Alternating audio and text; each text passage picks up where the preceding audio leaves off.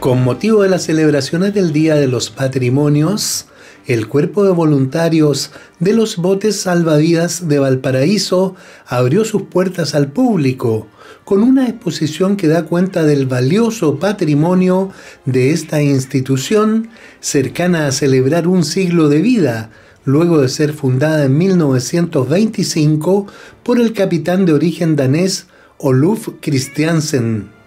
Su figura es uno de los elementos centrales de esta muestra que conserva algunos de los elementos personales que le pertenecieron y donde se realza el nombre del navío que lleva su nombre, una nave que es parte del patrimonio mundial por su participación en el rescate de los aliados atrapados en Dunkerque y que hoy se encuentra en estado de deterioro.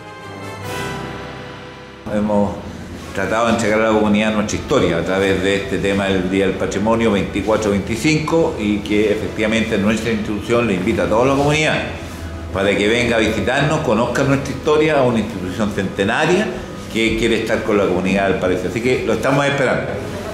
Cuénteme acerca de este acuerdo que llegaron con el museo.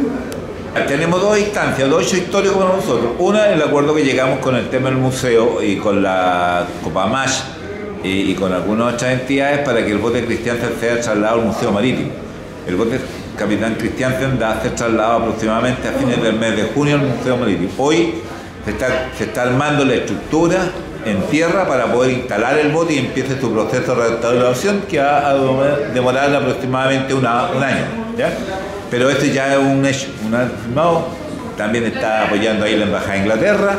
Hemos hecho una y en el día de ayer hemos celebrado el acto de la, la Municipalidad del Paraíso, genera un decreto alcaldicio donde eh, la comunidad porteña eh, nos acompaña en la celebración de nuestro aniversario del 2025. Así que son dos hechos históricos de esta semana que marcan mucha institución, recuperar el cristiansen, que es un tema sentido por todos y que la comunidad tenga claro que se va a recuperar y el tema de que la municipalidad nos apoya abiertamente en el centenario y la municipalidad, yo hablo desde la comunidad porteña, la municipalidad representa a la comunidad porteña, así que para nosotros es muy importante.